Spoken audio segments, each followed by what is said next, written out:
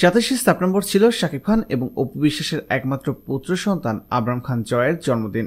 আর ছাব্বিশে সেপ্টেম্বর মা অপুবিশ্বাসের সঙ্গে এফডিসিতে হাজির হলেন ছেলে আবরাম খান জয়। কিন্তু মায়ের সঙ্গে কেন এফডিসিতে গেলেন ছোট্ট আবরাম? জানা যায় বাবাকে জন্মদিনের দাওয়াত কার্ড দিতে এসেছে ছোট্ট আবরাম। সাথে এসেছেন মা অপু বিশ্বাস এদিকে হঠাৎ ছেলেকে পেয়ে দারুণ খুশি হন শাকিব খান। এ সময় ছেলের সঙ্গে খেলায় মেতে ওঠেন তিনি। বেশ কিছুক্ষণ সময় একসঙ্গে কাটে বাবা ছেলের। পরে বাবাকে জন্মদিনের কার্ড দিয়ে মায়ের সঙ্গে বাসায় ফিরে যায় ছোট্ট আবরাম। এদিকে ছেলের জন্মদিন নিয়ে শাকিব খান বলেন আমি আমার নিজের মতো করে আমার একমাত্র ছেলের জন্মদিন পালন করতে চাই। আমার বাসায় আমি আমার ছেলে এবং বাবা মাকে সঙ্গে নিয়ে কেক কাটব।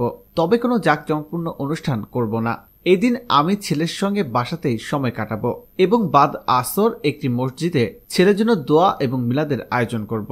এ সময় শাকিব খান আরও বলেন, আমার মনে হয় আমার ছেলের জন্য দোয়াটাই সবচেয়ে বেশি জরুরি। আমি আমার ছোট্ট আব্রামের জন্য দেশের সব মানুষের কাছে দোয়া চাই। জানা যায়, অবসর সময়ে শাকিব খান বাসায় নিজের ছেলের সঙ্গে বেশিরভাগ সময় কাটান এবং খুনসুটিতে মেতে ওঠেন। প্রিয় দর্শক, ধন্যবাদ ভিডিওটি দেখার জন্য। বিনোদন জগতের লেটেস্ট সব আপডেট পেতে এখনই সাবস্ক্রাইব করে রাখুন এএসডি ওয়েবস ইউটিউব চ্যানেলে।